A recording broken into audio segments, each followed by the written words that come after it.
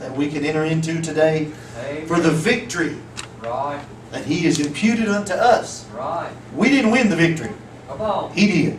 Yes. But because He did, we can be part of that. Amen. Yes. Grafted into the vine. My, my, my, my. So thankful today. Amen. This morning I'm going to talk to you for a few minutes. Brother Bill was here. He'd say it sounds good, don't mean nothing. Hallelujah. We're going to talk about something we discussed, and I looked it up through our notes and sermons a couple of years ago. We talked about this, but there's, as we see on the news and reading the headlines and the different things that's going on inside the church, Right. and I use that word lightly there, True. but we see things that are going on, and it, it caused me to go back and revisit this. And, because many times, as a minister, and I know as not just as a minister, but as you live for the Lord and as you hold to your convictions and you stand upon the truth, and you look around you, it seems as if it's becoming more and more less of people that are standing for the truth, that are holding to their convictions. Amen. Amen. It seems like there's less and less people that are doing that, and you might find yourself at times thinking, well, I don't know if there's anybody left that believes in living right. Amen. I've seen many preachers through the years that at one time held to the standards or at least, you know, stood for something. Right. And now they stand for nothing. Amen. Amen. The Bible's the Bible doesn't say this, but there's a saying that if you don't stand for something, you'll fall for anything. Amen. Amen. Hallelujah. And certainly you can find that not in those words in the pages of the Word of God, but you can find Right. people who failed to stand for something and they wind up falling for something that was devastating. Amen. And that's where we find the church today. True. I want to talk to you about the remnant Yes. this morning for a few minutes. Now, we've talked about this word before. The word remnant means a small piece left over of the original. Yeah. Amen? On. One of the dictionaries puts it this way that which remains of the original. The word remnant is found in the Word of God 92 times. Most in the Old Testament, some in the New. And we're going to look at a few of those scriptures today before we get to our foundational scripture that I want, want us to read. But you will find that all throughout the history of mankind, whenever man turned from God, whenever they turned to false idols and false God worship, whenever they turned away from the one true living God, there was always yet, even though the masses, and it seemed like the the the uh, the, the mass of people, the most of the of the population had turned away from the true living God, there was always someone, somewhere, brother Dave, that was still clinging to a saving hand. Amen. There was always someone when everybody, it seemed everybody was bound to Baal, there was always somebody that God had that was still standing for the truth. So if you find yourself today worried that the true church, the remnant, is going to take her last breath and die out and going to become extinct, let me rest, let me cause your heart to rest assured this morning. Amen. God has always had a remnant of people who refused to bow the knee to Baal. God has always had a remnant, may not have been a big remnant, just a small remnant, amen?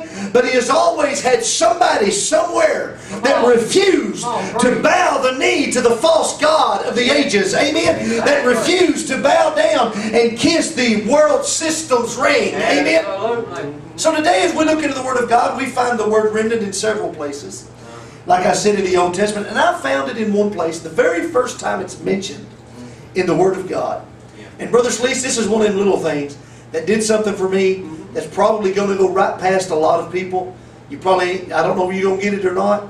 I'm not even going to preach real hard on it this morning because if I do, I'm going to get a lot of letters and emails from theologians out there that think they know better than I do. And they probably do know better than I do when some things. Amen?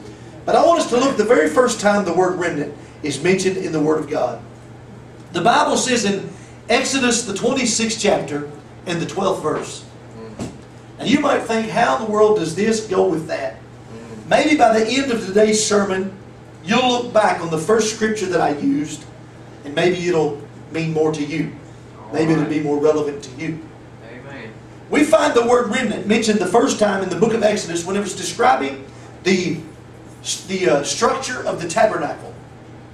Whenever he's giving the, the uh, instructions on how to build the tabernacle that they would take with them through the wilderness. They would tear their tabernacle down, they would take it apart, and they would carry it with them on their journey. And then whenever they would find a place to set up, they would set the tabernacle back up. So it Yeah. went with them. Amen?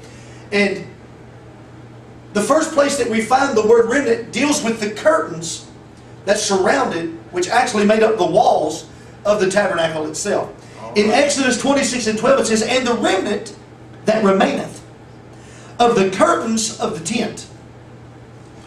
The half curtain that remaineth, that which is left of the original, that which is left of the curtains that you have used to use for the walls around the tabernacle. And if we had a better picture than that, I thought we had one at one time, a better picture of that you would be able to see the walls that surrounded the tabernacle and how that all the furniture was laid out in the form of a cross inside of the tabernacle. Amen. It says to take the remnant of the curtain that is left. And hang them over, it says, shall hang over the back side of the tabernacle. Come on. Oh my Lord. Praise the Lord. I can't get stuck on this. Take that which is left of the original, Right. the remnant, that that remains of the curtains. Mom knows what a remnant is. If you ever make a dress or something and you have a piece of material, when you cut out and you make your dress, well, here's the material you have left. Right. It's, it's made out of the same thing of the original, it's just what you have left. Amen? He said, Take that which remains of the original and hang it on the backside of the tabernacle. Now, the backside of the tabernacle is here, Yeah. where the Holy of Holies was at. Amen. Amen?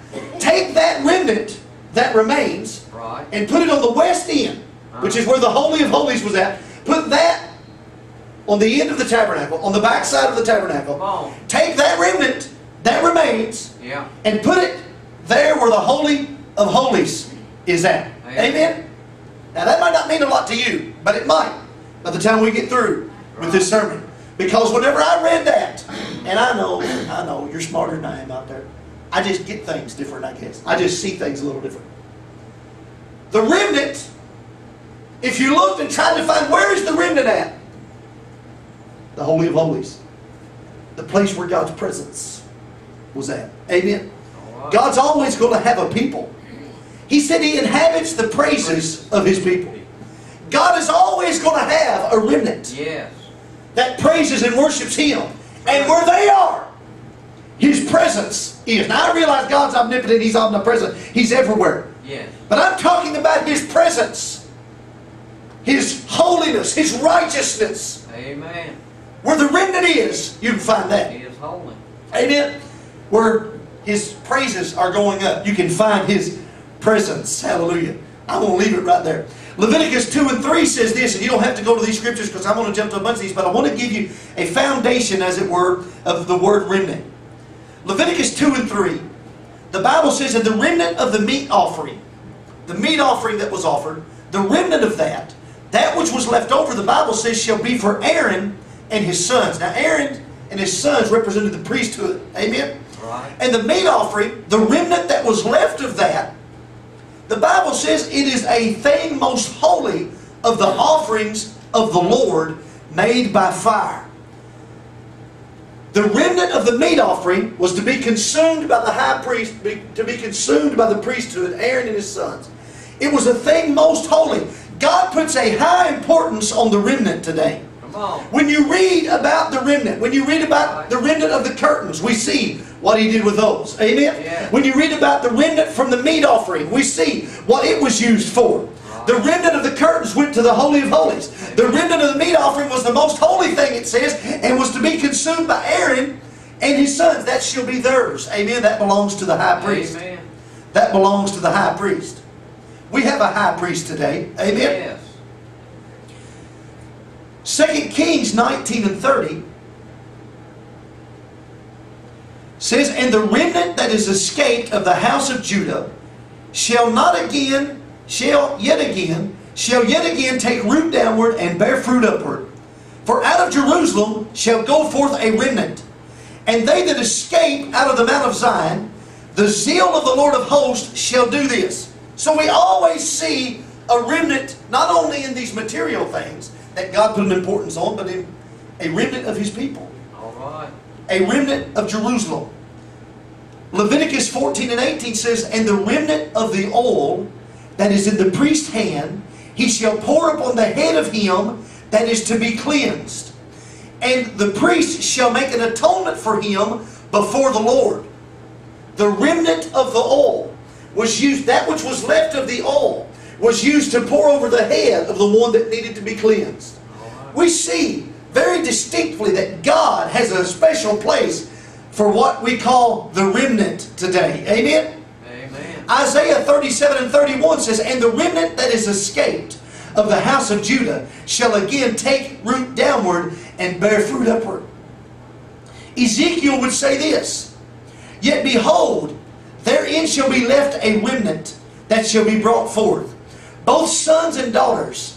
Behold, they shall come forth unto you, and ye shall see their way and their doings. And ye shall be comforted concerning the evil that I have brought upon Jerusalem, even concerning all that I have brought it upon that I have brought upon it. He said, You will be comforted when you see the remnant. When you realize that God still has a people. When you realize that everybody's not dead that believes in standing for something. When you realize that everybody has not bowed their knee to Baal. I can't tell you how refreshing it is for me today to find someone. Yeah. And it's not easy anymore. Amen. And even here in the Bible Belt. Right. Amen. It's not easy to find people who stand for something in the day that we live in. Amen. I can't tell you how refreshing it is for me to come across somebody that still has old-fashioned Holy Ghost convictions. Amen. Somebody that don't think anything and everything is okay. Amen. Somebody that still believes in the one true God. Amen. Somebody that's not afraid to stand and say, wait a minute. Jesus said He is the only way. He is the only truth. He is the only life. Amen. Amen. Somebody who's not afraid.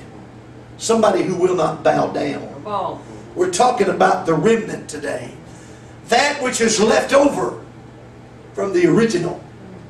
They still some of us out here. Amen. Yeah. It may seem like today that you're alone, but they still some of us out here. Right. Amen. True. There's still some of us today that still believe in the old rugged cross. There's still some of us today, Brother Scott, that are still trusting in His blood. Amen. There's still some of us out here today that still believe in preaching the cross, Jesus Christ and Him crucified, and the finished work that He did there. There's still a remnant today that is holding up the blood-stained banner of the old rugged cross. Absolutely. So we see time and time again in the Word of God. Go with me to the book of Joel. Do you want to go over there? Go with me to the book of Joel. Mama's freezing to. To the book of Joel. Now, this scripture is something that we in Pentecost have heard a lot because most of the time, though, we hear the quote from the book of Acts where Peter said, This is that which was spoken of by the prophet Joel. See what Joel says here in the second chapter in the 28th verse. Still talking about the remnant. Still talking about those that refuse. Refuse to bow down to the grave. Is it in the Sudan where they're waiting for that young woman to have the baby and then they're going to beat her to death? Right. Amen. Because she will not denounce, she will not deny Jesus Christ. Amen. Right. Listen, it might get that way for all of us before we get out of here. Amen. We might have to stand before the leaders of the day and say, I will not, I refuse to deny the name of Jesus Christ. Amen. Amen. I refuse. Right. Listen to me. The disciples stood before the leaders of their day mm.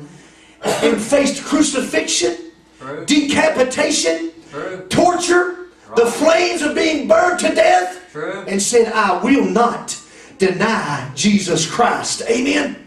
Amen. We may have to face that kind of thing. True. They are already facing, we're thinking, well, it's going to get bad when the tribulation. It's already bad. Amen. Really bad over there in those places where they're being killed for the cause of Christ. Amen. If you talk to them about the tribulation period, they think they're already there. Amen. Ah. Because they're already laying down their lives ah. for what they believe. They- we think it's a sacrifice to get up and go to church. We think it's a sacrifice to get ready and go to the house of the Lord. We think it's a sacrifice to put some money in the offering to continue the work of the Lord. We don't know what sacrifice is. Amen. Amen. That's true. Whenever you have to, whenever you have to put your life on the line, Right. when you have to put the life of your family and your children, your wife, your husband on the line, Then you might be able to realize what sacrifice is. We don't know what sacrifice is today. We are so spoiled rotten, it's pitiful. Amen? Amen. If things don't go just the way we want it, if the music is too loud, if the church is too hot, if the church is too cold, if, God forbid, if the preacher preaches too long, amen, we can sit in front of a television and watch a two hour movie and we are sad when it's over because it wasn't long enough. We can sit in the church pew and listen to a preacher go longer than 30 minutes and leave the church house complaining that he went too long. Amen. Something's wrong with our heart today. Amen. Amen. Something is wrong with our heart today. There should be more of a hunger for the Word of God in you than there is a hunger for the Hollywood things that they have to Come offer. on. Come on, tell it. One of the biggest movies, I guess, that's ever made money or whatever, one of the biggest money makers, Titanic. I never watched it, but how long was it? Three hours? Four hours? Three and a half hours? Whatever it was. And people watched it over and over and over and over and over. But oh, that preacher better not go longer than 30 minutes. Yeah. Amen. Well, you have my permission. If I go longer than 30 minutes, you can get up and walk out. But I refuse to stop the sermon just because you're ready to go to McDonald's. Amen. Right. True. Praise the God's going to have a remnant that are hungry for His Word, Lord. Yeah. Right. Guaranteed. thirsty for His Spirit. Guaranteed. Amen. Hungry. What's it say in Joel 2 and 28? If I ain't careful, I'm going to preach. And it shall come to pass afterward that I will pour out my spirit upon all flesh. And your sons and your daughters shall prophesy. Your old men shall dream dreams. Your young men shall see visions. And also upon the servants and upon the handmaids in those days will I pour out of my spirit. I'm in Joel 2 and 29, going to Joel uh, 2 and 30 now. And I will show wonders in the heavens and in the earth, blood and fire and pillars of smoke. The sun shall be turned into darkness and the moon into blood before the great and terrible day of the Lord come. Amen. And it shall come to pass that whosoever shall call on the name of the Lord shall be delivered. For in Mount Zion and in Jerusalem shall be deliverance, as the Lord hath said. And in the remnant whom the Lord shall call. When's he talking about? He said, In the last days, saith God. So we see here the prophet Joel, through the wisdom and through the eye of the Lord, seeing down through the ages of time, letting us know that in the last days there will be a remnant. Amen. Amen. You are not alone today. Right. You're not the only one that's serving God today. You're not the only one that still believes in the Word of God today. Amen. Right. There will be a remnant. There will be a remnant. Romans 9 and 27. Amen. Paul writes, Isaiah also cried concerning Israel. Though the number of the children of Israel be as the sand of the sea, a remnant shall be saved. Now think about that. He uses the example as the sand of the sea to number them. In other words, innumerable. A vast number of people. But out of that will come a remnant. It's the same way today. We've heard the expression a church within the church. Amen. There is a remnant of people today. Everybody that says they're a Christian, honey, ain't a Christian. Amen. If you, according to survey studies and everything, what, 80% something of Americans claim that they are Christian? And Brother Slee said that's, that's a term that is used too widely. Amen. Mm-hmm. All right. If, if, if Americans truly, if 80% of them, whatever the statistic is, Brother Scott might be able to tell you, if that many people in America were Christians, guess what? Abortion would not be legal. Amen. Amen. Amen. Amen. Abortion would not be legal. Homosexuality, marriage would not even be a question. Amen. Because it is an abomination before the eyes of God. The murder rate would not be up. The rape rate would not be up. There would not be two out of every four marriages dissolving and ending in divorce. Amen. There would not be there would not be abuse the way it is. There would be prayer. There would be prayer in school. Amen. There would be prayer in the public square. There would be prayer in the halls of Congress. Amen. If that many people were truly Christian. Oh, oh, Amen. So it ain't hard to see today when you compare our laws to this eternal law. It's not hard to see. Come on, brother. We got more sinners running it than we do saints. Yes, sir. Amen. But everybody's a Christian. Yeah. Amen. Yep. Everybody's a Christian. So all of these things in the Old Testament, and even this scripture here of the New, that discusses the remnant. I got to thinking about, in a day where the news headlines get more ridiculous all the time. I'm talking about concerning the church. Right. I happened to see someone post this on Facebook, and I went to see if it's real and read the headlines, and it was. I figured it was. I didn't figure it was wrong. Yeah. But a church in Portland, Oregon, they call their church services beer and hymn night. Amen? Beer and hymn night. And they showed them, they're out there. Oh, fly away. They flying, all right, but it wasn't on the spirit. Amen? Yeah. They had their cup of beer. They was passing it around. So in a world where you see our beer drinking churches, amen? Yeah. Amen? Yeah. And then I thought about the church up in Virginia that we talked about several Sundays ago, where they all get together nude. Mm. Amen? Oh. They have church in the nude. Because it takes away all the barriers and it, it you know, you can't tell who's got money and who don't because everybody's naked, so they ain't got to worry about who's got on the best clothes. Mm. Now, Brother Tommy's hot. Hallelujah. But their pastor stands there preaching in the nude. Mm. And this doesn't have one thing to have to do with the other, but the name of their church is the Whitetail Church. Think about that. That's not because what I thought. It's on a nudity resort that's called the Whitetail Resort. Amen. And they're all showing up naked. So in a world where you see our beer drinking churches, and that's that that's not that's becoming more a normal thing than it is extreme anymore. But the nudity churches, I guess that's considered extreme. Amen. My goodness. Yeah, for now. Yeah. Yeah. I've been in churches where, I mean, and they had clothes on, but it wasn't enough clothes. I can't imagine going in there and they was completely naked. Amen. Amen. Somebody wrote me the other day and wanted to know what our dress code was. If they needed to have their sleeve to the to their to their uh, elbow, or if they needed to have it down to the wrist, or whatever they had. And I said, just wear some clothes, please. Amen. Hallelujah. Don't come in naked. Right. So we got our beer drinking churches in Portland and other places. We've got our whitetail nudie churches up in Virginia. Amen. Of course, we got our snake handling churches. That's been in the headlines. Amen. And then we've got our coffee drinking churches. Amen. Where you can go out in the lobby and get you a what's that big name coffee? Starbucks. Amen. Bring it in and sit down in the pew and drink you some Starbucks. Amen. Yeah.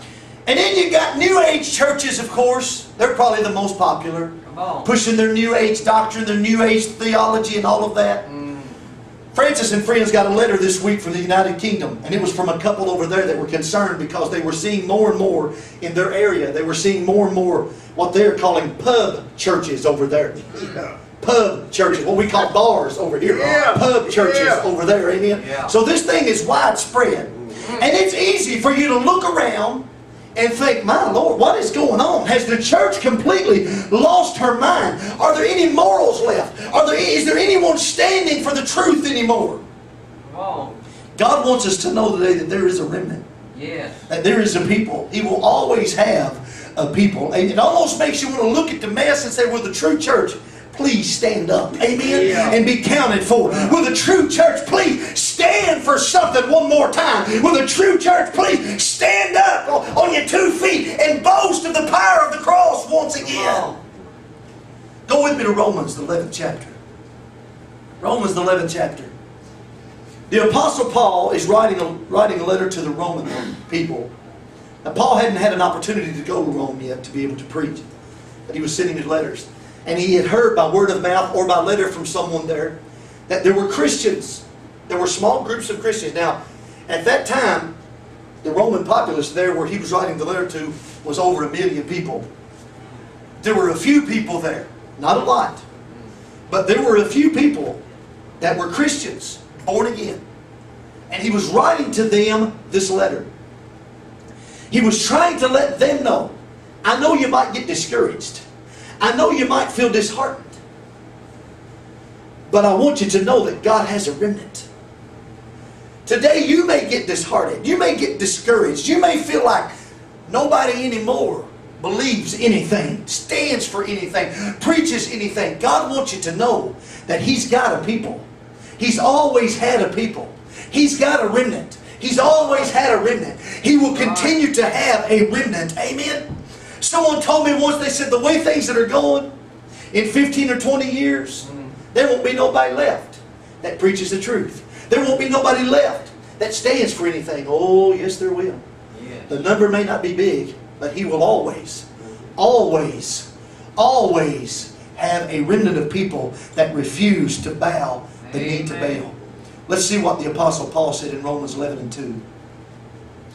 God hath not cast away His people, which He foreknew. Wot ye not what the Scripture saith of Elijah? In other words, don't you know what the Scripture says of Elijah? How he maketh intercession to God against Israel, saying, Lord, they have killed the prophets, they, and they dig down thine altars, and I am left alone, and they seek my life. Y'all remember that. Y'all remember how that Elijah got so di- discouraged that he found himself up there in the cave, and the Lord speaks to him and says, Elijah, what are you doing here? And he begins to tell the Lord, he said, Lord, I'm the only one left. Nobody else is standing for anything. I'm the only prophet that you have left. I'm the only man that you have left that's standing for anything. The Apostle Paul is telling those that are in Rome at the time, do you remember that? Have you heard of that? How that when Elijah thought he was the only one, that nobody else was alone, what saith the answer of God unto him? This is verse 4. This is what God's answer was to Elijah. I have reserved to myself 7,000 men who have not bowed the knee to the image of Baal. Even so, the Apostle Paul goes on to say, even so then, at this present time, also there is a remnant according to the election of grace. So you may feel today that there's no remnant, that there's no one left, and everybody's bound the knee to Baal. But the Lord wants us to know today what His answer is. At this present time, in the year of 2014, I know that it looks like nobody's preaching nothing. Very few. It looks like the flame dwindles a little bit more every day. It looks like the darkness is overcoming the light, but rest assured, God has had, God does have, and God will have a remnant Amen. that stands for His name. Yes, sir. God will have, Brother Scott, somebody, a preacher somewhere. True. Right. God will have some Daniels that when the law says you cannot pray, will bow down three times a day with their window open just like he did before, in spite of the law, and pray anyway. Amen. God will have a remnant. When Congress passes laws and says you cannot worship Jesus Christ, you cannot pray to Him, God will have a remnant that will say, What did the law say? You can't pray, huh? Oh, thanks for letting me know. Oh, Lord God of heaven. Oh, I pray right now in Jesus' name. Yes. Amen. He's going to have somebody that don't care, well, that, that, would, that are willing to obey God rather than man. Amen. Amen. He's going to have. That's why. That's why the the, the disciples could have lived a lot longer life than they lived, but they refused to obey man Right. other than God. Amen. True. We're going to have to do that. Amen. We're already having to do that to some extent. Amen. Right. Thing's going to get worse. Right. It's going to come down to where you either got to fish or cut bait. Right. You're going to have to decide you're going to go on or you're going to stop, give up. Right. when you stand in the face of the of the, the, the, the majority of the crowd that is going the opposite direction, when you stand in the face of popular opinion, when you stand in the face of the laws of the land and you say, I refuse to deny my God. Right. I refuse to stop praying. Come on.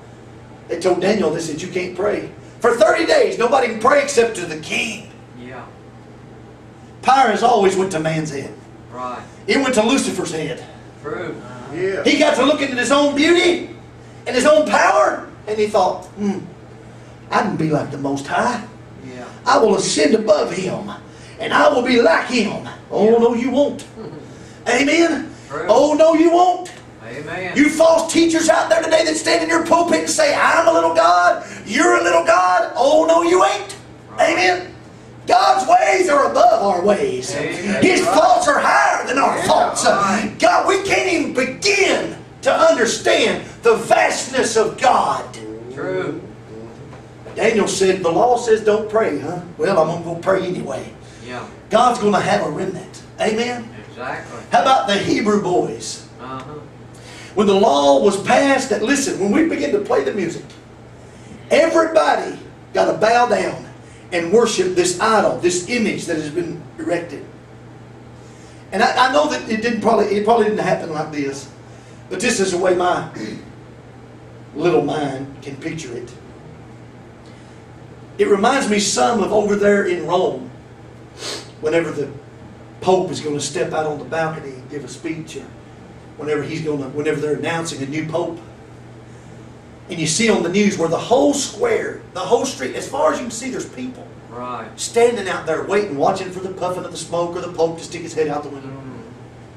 And I can almost picture that at the time whenever the music is going to sound and the worship, you can see a vast number of people.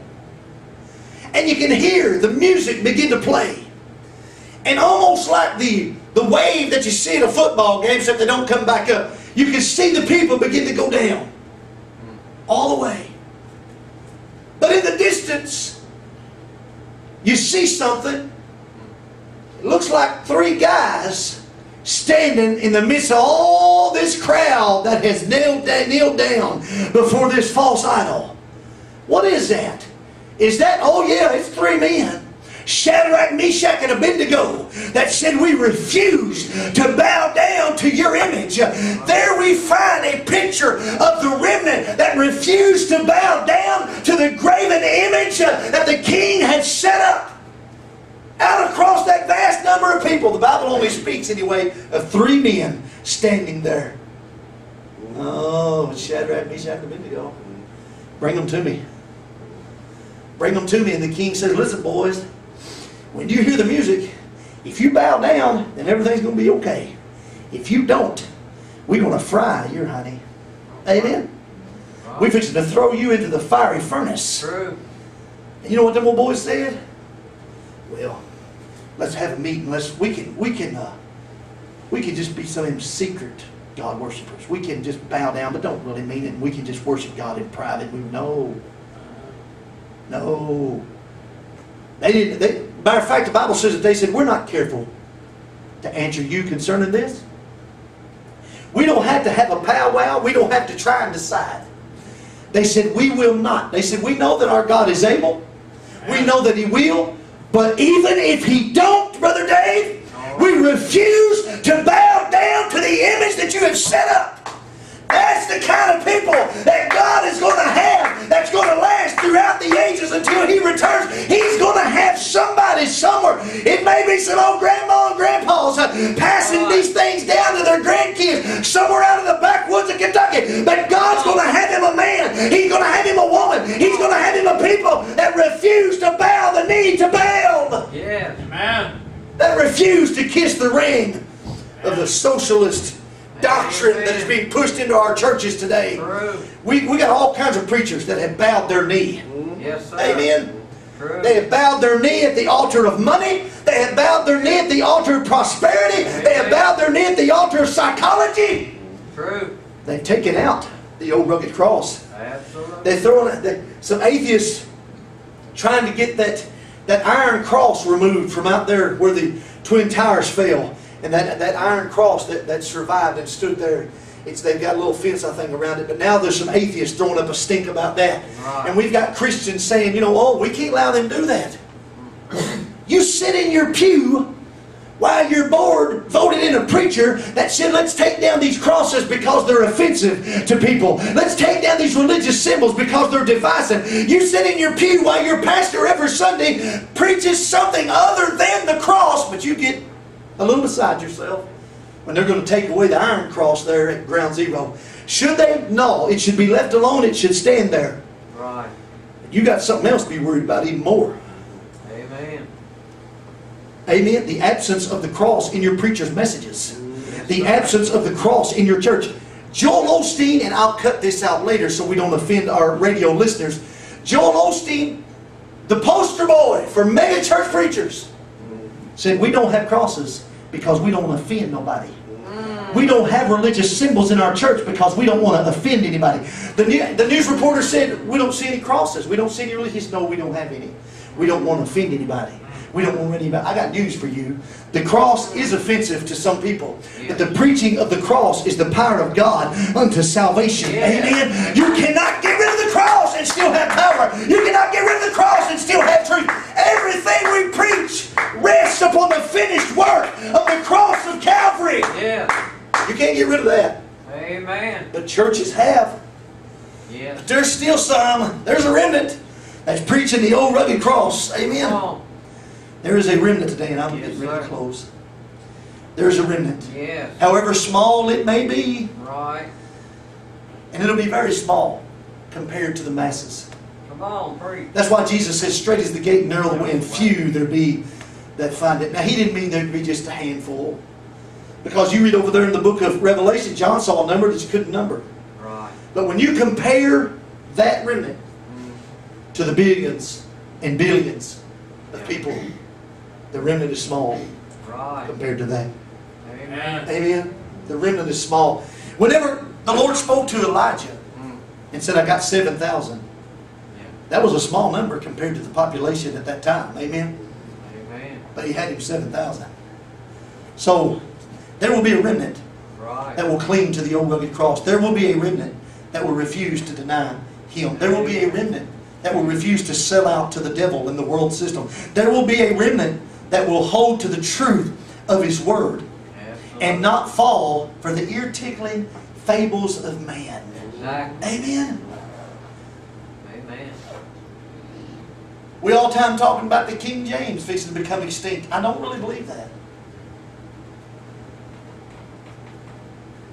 True, it is outnumbered by the perversions out there that are on the shelves. Right.